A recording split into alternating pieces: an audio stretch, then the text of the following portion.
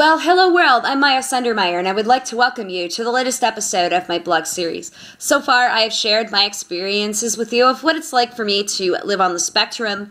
Other times, I will give my two cents on what's going on with autism in the media.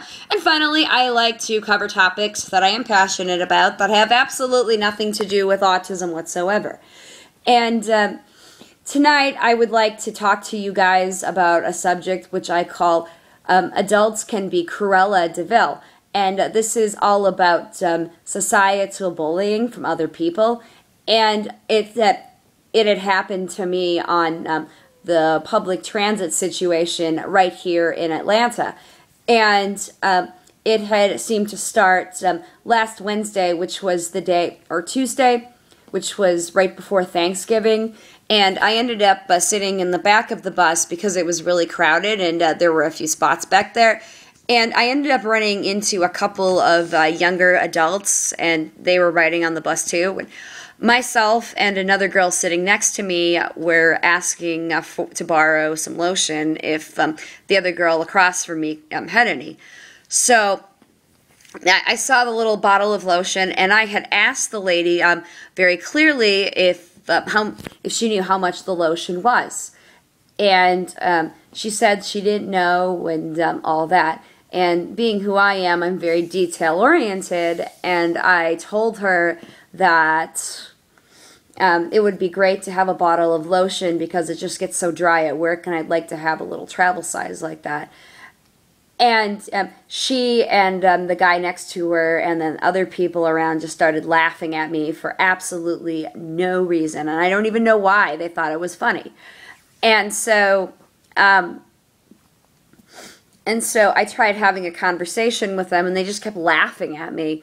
And i wanted to also mention that i have a habit of talking to myself and uh, what I have learned how to do uh, in terms of the talking to myself is I have um, a cell phone with me and I turn the volume off or the ringers off so that uh, I can have my uh, conversations without bothering other people and them being bothered about my talking to myself. And so far, it has been able to work really well. Well, these kids figured it out that I was um, having a conversation um, to myself and not to anybody else. And they thought maybe I had some sort of a mental illness. And um, they started uh, talking behind my back. They, they called me crazy and um, they started um, laughing every time I opened my mouth. And they made fun of the way I said things. And they also well, were, again, whispering. And then um, yesterday I ran into them again, and um, I knew that if I saw them, I would approach them and let them know that um, what they did was uh, last week was not acceptable. So I was going up there to approach them because, again, it was crowded in the front of the bus, and it was noise. It uh, was not as crowded in the back, and so I saw them sitting up there, and I was going to try and um, have a conversation with them. And um, I noticed that uh, the guy was sitting um, in a row and there was an empty seat right next to him and he had all kinds of stuff on his seat and he refused to let me sitting there to sit there by saying that he had a cold. And I knew it was an excuse because um, the girl across from him was laughing about it.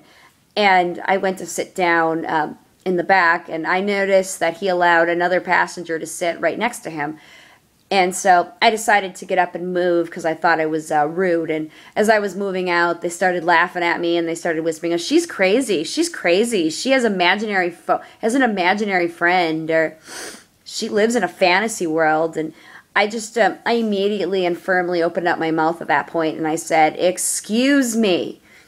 Um, you guys, uh, I know you're think you guys uh, think that's funny. Unfortunately, you should know that your words hurt, and I think you guys should stop. And they just kept on laughing, and I, um, I looked at them and I said, I don't know if you're aware, but what you guys are doing is a form of bullying. And they wanted to sass off at me, and and I said, you guys mind your own business. And and they said, yeah, well then don't talk on your phone, mind your own business. So, what I'd like to mention too that. Uh, you know is really common is that people on the autism spectrum have trouble talking to so socializing with other people. It's always very awkward with them and it is incredibly awkward with me even though i have um, overcome so much. I mean even trying to talk to these people i just i don't have a parable for it but talking associating with other people can be incredibly awkward because i don't know what to say or how to say it and then again, I also talk to myself, and um, I don't have auditory hallucinations. I don't have delusions. I don't have, have visual hallucinations. I just talk to myself, and there are other people on the spectrum that do that too. And it's actually a form of uh, thinking out loud. And I am trying to learn how to curve that part, and then I'm trying to learn how to communicate, and I'm learning how to. Um, how to socialize with people and be mature. And sometimes there are people that don't understand. And so, no matter what I say, other people will stand and snicker about the way I say things. And it's just really frustrating. And I wish people wouldn't laugh at the way I say things. And I mean, it's like I'm minding my own business and people go out of their way to do it. And it's really annoying.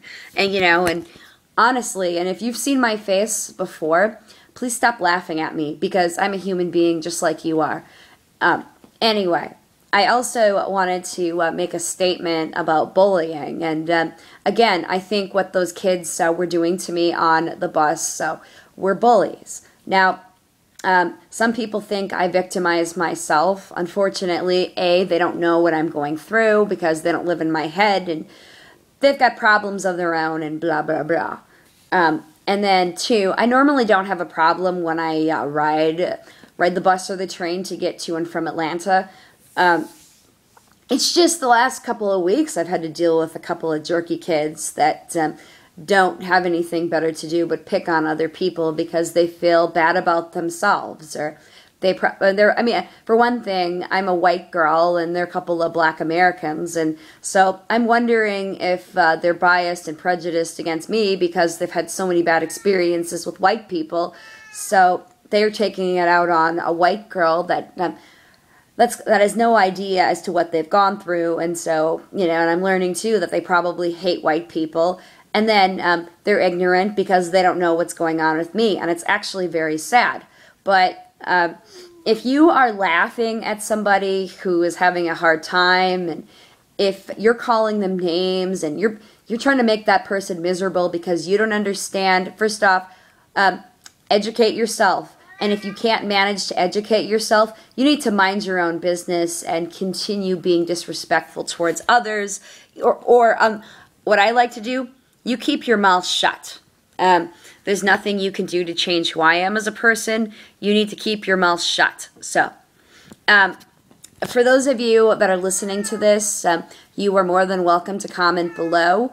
Um, what kinds of uh, uh, bullying have you experienced? I mean, outside of school and the workplace, and where have you had the bullying, and why did they bully you?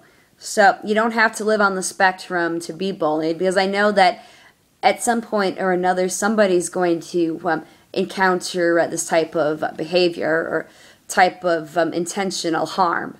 So, um, if you like what I have to say, um, you are more than welcome to subscribe. Um, please be sure to share this with your friends and family and be sure to retweet these messages. So, until next time, I'm Miyah Sundermeyer and I'm signing off now. Bye.